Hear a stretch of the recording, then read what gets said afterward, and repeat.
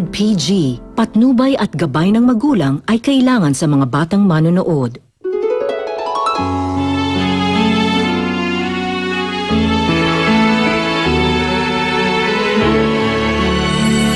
Daddy left last night. Nabalitaan ko nga. Ma, nasisira na yung pamilya natin and you don't care?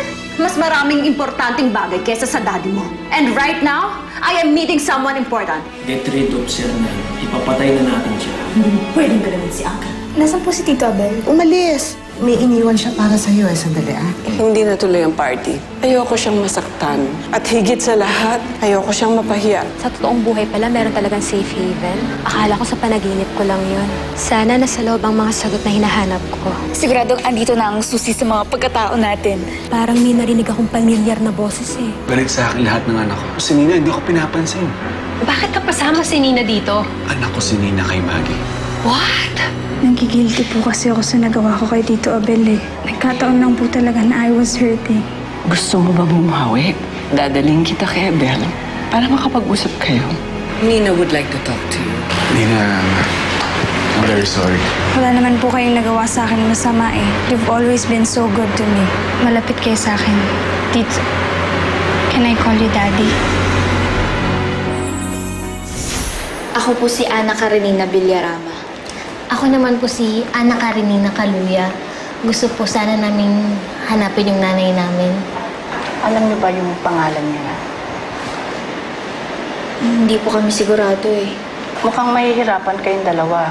Maraming babaeng pumupunta ditong buntis, tapos umaalis sila pagkapanganak nila. Pero dala po namin yung mga birth certificate namin. Po. Dito po kami pinanganak ng mga nanay namin. Tapos, nung nag-imbestiga po dito yung Tito Abel namin, ang sabi po, nasunugan daw kayo. Oo, dahil pinanganak kayo noong 1998, hindi ko kayo matutulungan. Sa katunayan na wala nga lahat ng records namin. Pati mga listahan ng mga kinukup namin at mga litrato nila. Ah, baka po meron pa po kayong nagtatrabaho po dito noong 1998. Baka pwede po namin silang makausap. Oo nga po. Baka meron pa pong nakakilala sa mga nanay namin dito. Ako nagsialisa na sila eh. Yung iba nag-abroad na, yung iba naman nag-retire na. Totoo lang, kanina lang meron naghanap din. Nahanap niya yung anak niya, pero pasensya na, wala talaga kami na.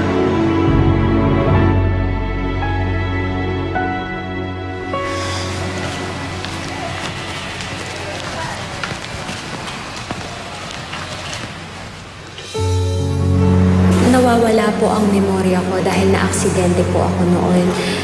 Um, na, baka po kasi taga dito ako at dito po ako nanganak. Ano bang pangalan mo at kailan ka nanganak dito? Alice Vergara po ang pangalan ko.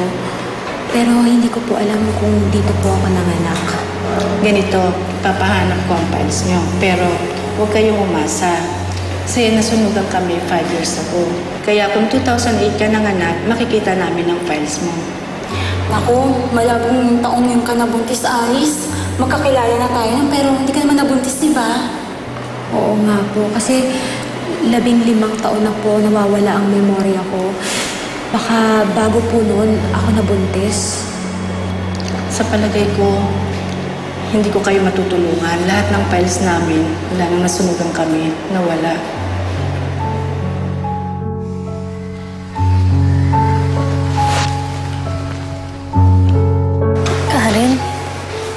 Yata talaga ng Diyos na makita natin yung mga nanay natin. Pangalawang beses na natin itong nabigo. Una, wala tayong pera pang paimbestiga. Tapos ngayon, nasunog naman yung mga files dito sa safe haven. Ano naman? Para ka ng sinina. Mega-nega ka na. Pwede ba? Think positive ka lang. Pero Karen, ano pa ba kasing kailangan natin gawin? Di ko alam. Pero hindi naman porket hindi natin alam, eh susuko na tayong agad, di ba? May kasabihan nga. Kung gusto, maraming paraan. Kung ayaw, ma- marami ding dahilan. Sige. Paano natin sila hanapin? Uy, Alice, iniisip mo pa rin yung nakaraan mo, no? Hindi ko maiwasan eh. Teka, Di ba talaga pamilyar sa'yo tong lugar na to? Hindi.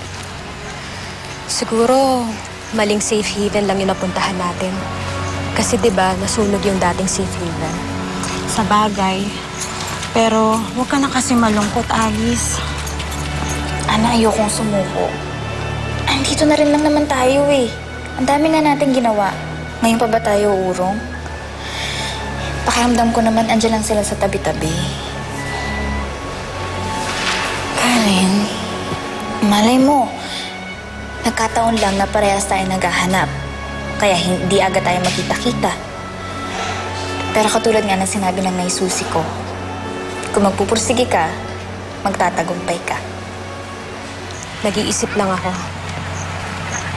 Kasi 'di ba, ang safe haven ay para sa mga dalagang nabuntis na walang ama. Teka, ang ibig mong sabihin? Oo.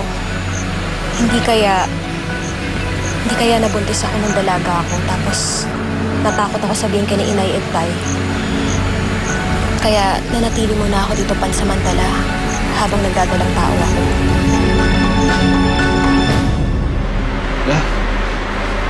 Sure, sure. You know, that would make me very, very happy if you do that, Nina. I'm really sorry, Daddy. So sorry. Forgiven. Forgiven.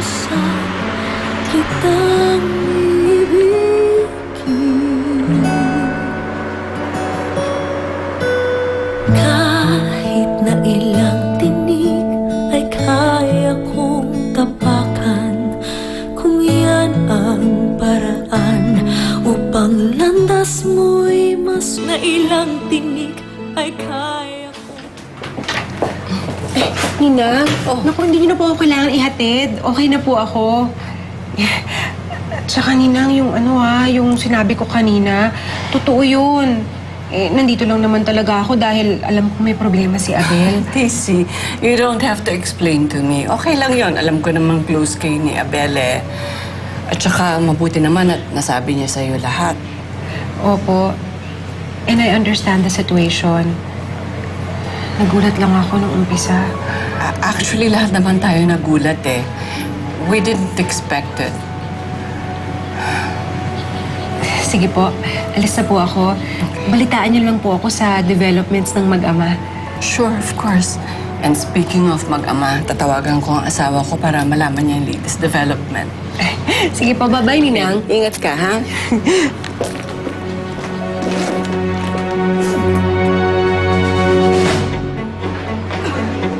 status ng pasyente?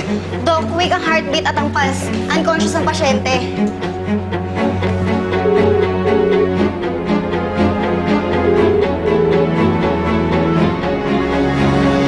Lagyan niyo ng cardiac monitor.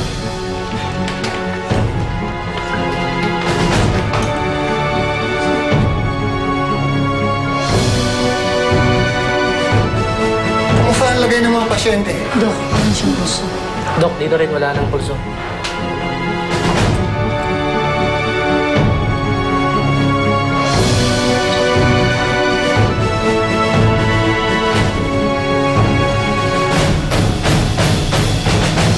Malang Berta, saan po nagpunta sila Lola? Kasi wala po yung sasakyan nila eh. Umalis sila ni Nina. Saan po sila nagpunta? Ewan ko, hindi naman sinabi. Oh, dyan muna kahit magluluto muna ako, ha?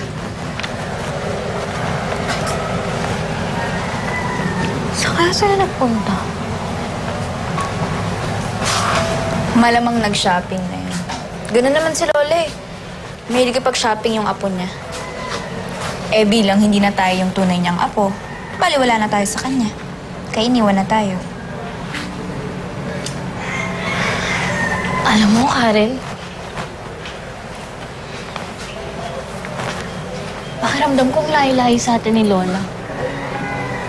Kasi hindi niya na tayo apo. Ano paano kung umalis tayo dito? Ha? Oh! Total, wala na tayong halaga dito. Eh, umalis na lang tayo.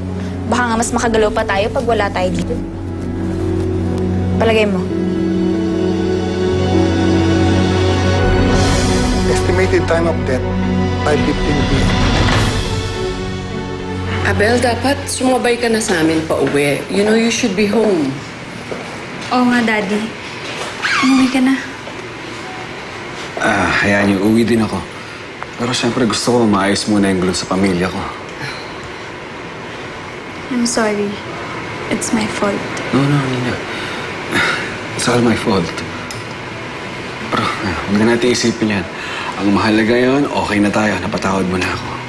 Masaya na tayo, di ba? Maayos din ang gulong to. Pagkatapos nun, uwi na ako. Thank you, Nina. Thank you. Ay nako, alam mo, itong araw nito, it's full of surprises. Matutuwa ang lolo Sernan mo dahil nagkabati na kayo ng daddy mo. At siguro naman, Nina, payag ka nang magpa-party tayo for you.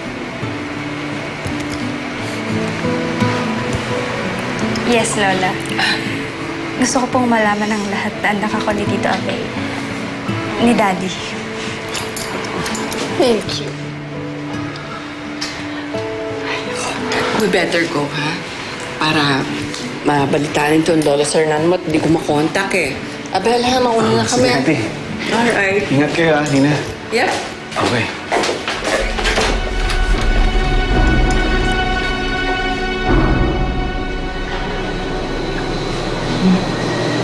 Miss, na nakita mo ba yung pinsan ko? Yung parati nagbabantay sa akin dito? Hindi ko po eh. Hindi ko nagpaalam. Naayusin lang daw eh. Kaso ang tagal naman bumalik. Sige, hintayin ko na lang. Pasensya ka na ha.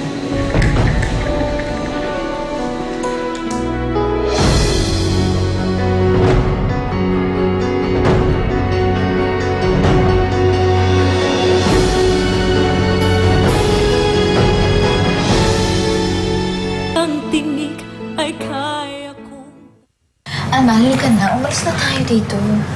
Karen, ayoko. Ayoko umalis. Mas mabuti na yung nandito tayo kaysa magpagala-gala tayo sa labas. Ana, wala namang masamang gumala eh. Tsaka isa pa masaya yun, parang adventure. Oh, parang treasure hunt. Tayong dalawa yung hunters, yung mga nanay natin yung treasure. Karen, ayoko. Ayoko pa rin. Ayokong iwan si Lola Carmela. At kung sakali man naalis ako, gusto ko alamin ni Lola dahil ayoko mag-alala siya sa akin. O edi sige, magpapaalam tayo kay Lola pagbalik nila ni Nina. Yun naman eh kung makakausap mo pa siya. Sa kabila ng malabundok na damit na binili niya para kay Nina. Karen, desidido ka na talagang umalis? Oo. Gustong gusto ko nang mahanap ang nanay ko. Hindi ka ba nalulungkot na iiwan mo na si Lolo Sernan? Kaya mo bang magpaalam sa kanya? Eh, kung iisipin ko na iisipin si Lolo, kapag-iiwanan ako. Kaya, erase muna siya sa isip ko. Siyempre, unahin ko yung sarili ko at kung anong gusto ko. Siyempre, yun na yung mahanap ang nanay ko. At kapag nakita na natin sila, mararamdaman natin na importante na tayo sa isang tao. Mamahalin na tayo ng sarili nating mga pamilya. Hindi katulad dito. Parang nagsusumiksik tayo, di ba? Alam mo yun, parang para tayong mga surot na sumisiksik sa mga muebles.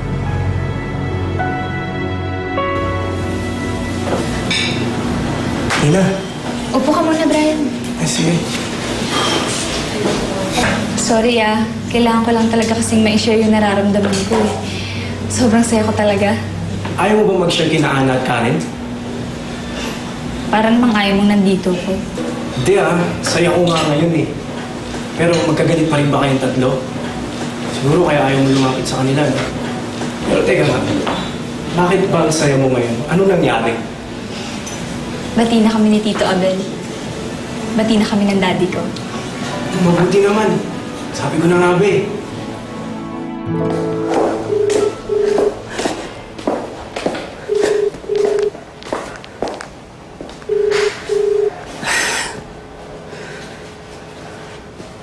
Eh, ma'am. Oh, Delphine, asan ang sir mo? Ma'am, bigla na lang po siyang umalis kanina. Ha? May kausap po siya sa cellphone, pero hindi naman po sinabi kung saan pupunta. Bakit hindi mo sinamahan? Ma'am, sinabi ko po na ako na lang po magdadrive, pero ayaw po niya. Mukhang kailangan po siya lang daw po mag-isa. Diyos ko, Nasaan kaya si Sernan? Ma'am Carmela, may mga pulis po dito na gusto kayo makausap. Mga pulis? Opo eh.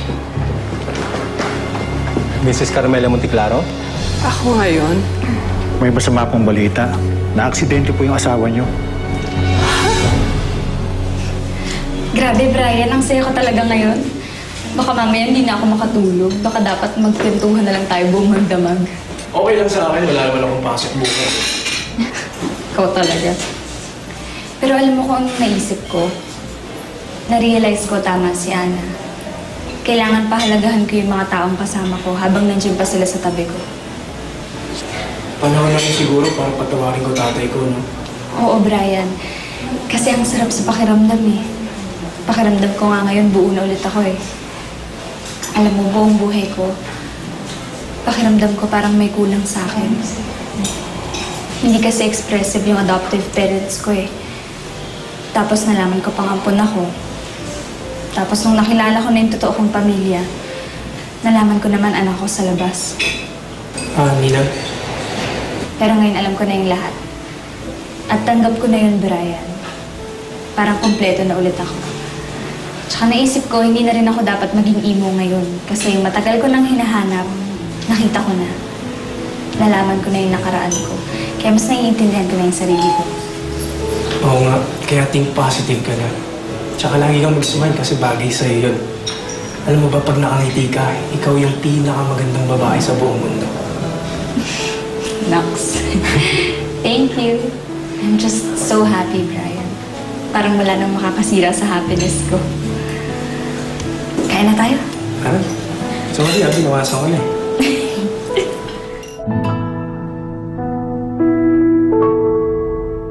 Ano? Na-aksidente si Sernan? Opo. Nakita po namin ang wallet niya sa accident scene, kaya po namin natunto ang bahay niyo.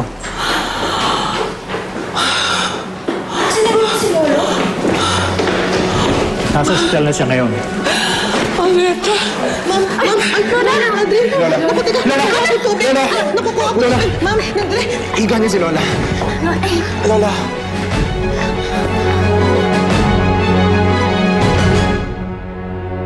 Kahit na ilang tinig ay kaya Lola, kamusta na po yung pakiramdam niyo? I'm not okay. May nangyari sa lolo niyo. Kailangan po na Lola. ako. Asawa ko. Teka, teka. Hindi niya pa po kaya, Ay, Lola. Kailangan ko siya puntahan. Kailangan niya ako eh. Lola, okay lang po ba kayo? Kaya niyo na po ba? Ana, kailangan kayanin ko. Eh, magsasama po kami. Sasama na po namin kayo doon. Tayo na.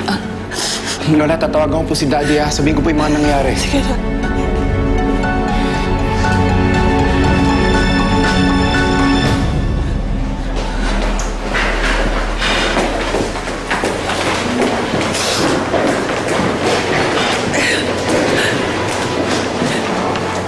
Miss, miss, may pasyente kayo dito, asawa ko. Ano pangalan po ng pasyente? Monteclaro, Sernan Monteclaro. Naku ma'am, kanina pa po namin kayo hinihintay. Sumunod po kayo sa amin kasi kailangan na pong operahan ni Mr. Monteclaro. Lola, Lola, makakaligtas po si Lola. Huwag kayo mag Aldrin! Dito lang kayo. Abel, samahan mo ako. Gusto lang makausap ng doktor. Don't worry, Auntie. Kaya ni Uncle yan. Stay positive, ha?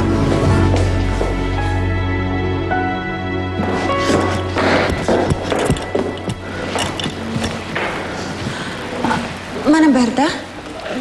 Bakit ho walang katao-tao? At saka saan niyo dadalhin yung mga yan? Ma'am, eh, nasa ospital ho kasi si Sir Sernan. Na-aksidente daw po. Kaya sabi po ni Sir Abel, ayusin daw po namin ang mga gamit ni Sir para madala sa ospital. Ano? Si Uncle Sernan na aksidente? Opo, ma'am. Anong nangyari?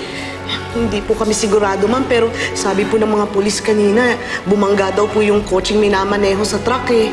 Kaya nasa ospital po siya ngayon. Oh my God. Oh my God. Ma'am, mauna na po kami, ha?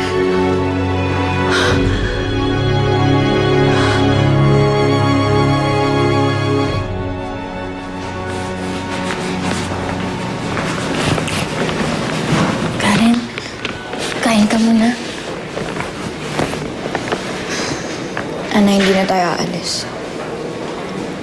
Hindi ko iiwan si Lolo. Gusto kong magalit sa sarili ko. Dahil ginusto kong iwan si Lolo. Ang eng-eng-eng ko talaga. Karen. Karen, okay lang yan. Ang importante, hindi natin iniwan si Lolo. Pati si Lola. Ang okay yung dalawa. Hindi naman kayo mga tunay na apo, di ba?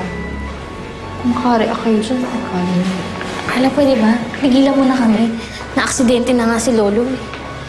Oh, tsaka teka nga. Kami tong mga samped na alalang-alala kay Lolo.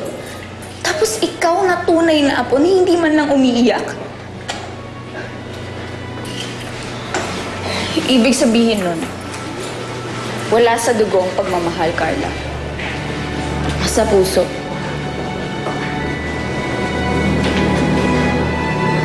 Kahit na, ang oo niyo pa rin.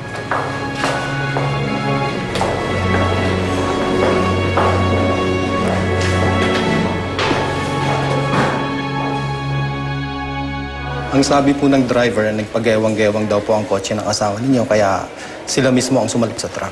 Pero hindi. Hindi naman reckless driver ng asawa ko eh. Ah, sir, sabi niyo ho kanina, may kasamang teenager si Uncle Sernan. Opo. At pareho na po silang patay. Wala po kami nakitang ID ng dalawa. Kaya po ang gusto namin, tanungin kayo kung kilala niyo sila. Mas matanda ng konti ang lalaki, pero ang babae mga 15 years old lang. Si, si Nina. Hindi po kaya si Nina yung kasama ni Lolo?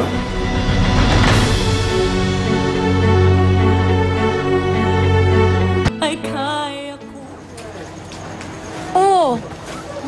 Doria! Bakit gabi na? Nasa labas pa kayo ng anak mo? Mahahamugan yan. Ay naku, Alice.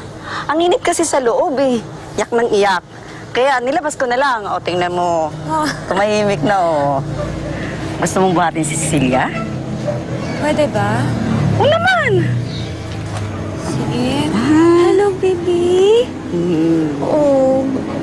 Oh.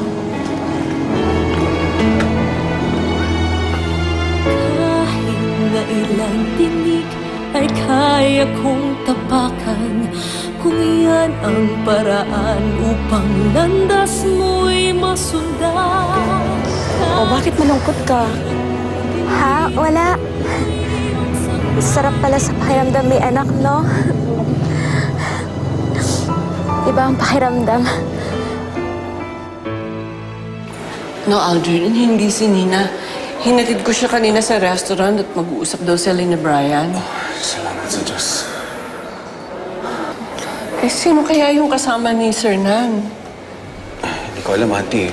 Siguro pupunta na ako morgue to check. Aldrin, tawagan mo si Nina. Sige, ako na magbabalita sa kanya.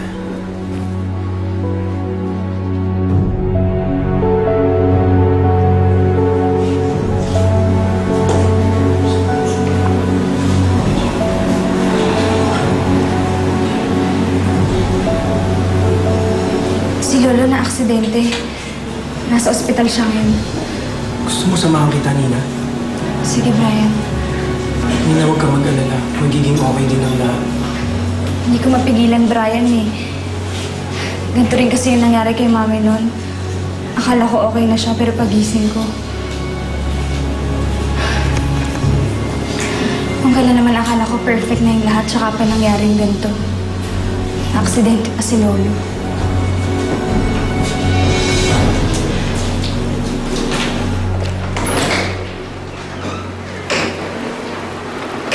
Sir, sila po yung mga namatay kanina sa car accident.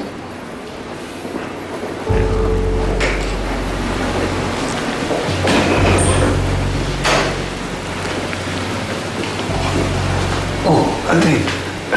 You don't have to come here. It's okay, Dad. Saka na lang po natin pag-usapan yung problema natin.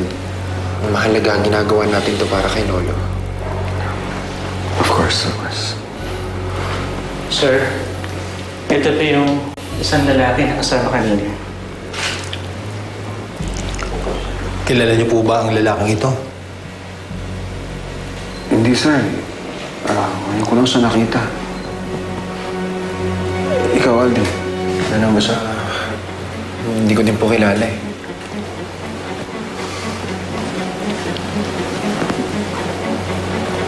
Sir, ito po yung isang babae na kasama ni Mr. Monteclaro.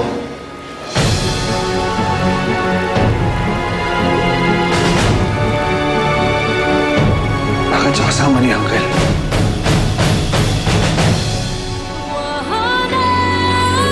Paano ko pa malalaman kung nagkaanak na ako dati? Bukas, papatingin na ako sa doktor. Alice, saan ka pupunta bukas? Ah, Nay. Doc. I have good news and bad news for you. She survived the operation. The downside, na-stroke siya habang ginagawa namin ang operation. Hindi mo natin malaman kung anong magiging epekto ng pagkaka-stroke niya kanina. It looks like wala na tayong dapat gawin. Mukhang kinakampihan tayo ng lahat. Huwag kang kampante, Ruth. Hindi pa patay ang uncle mo na aksidente lang. Auntie, siguro kailangan niyo na magpahinga.